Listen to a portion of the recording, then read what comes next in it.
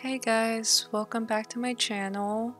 So, I recently took out my RC2 and tried to recreate some scenes from the Blade Runner 2049 movie. Um, I didn't focus on the effects, so you won't be seeing any of that in this video. It's just scenes. Um, but yeah, hopefully you guys enjoy.